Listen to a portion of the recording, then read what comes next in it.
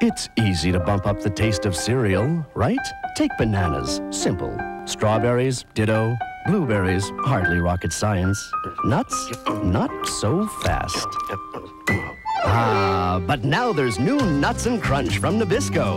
Big, crispy, four-grain flakes combined with nutty little nuggets with real almonds, pecans, and walnuts. Three kinds of nuts, one truly nutty taste. New Nabisco Nuts and Crunch. Crack open a box.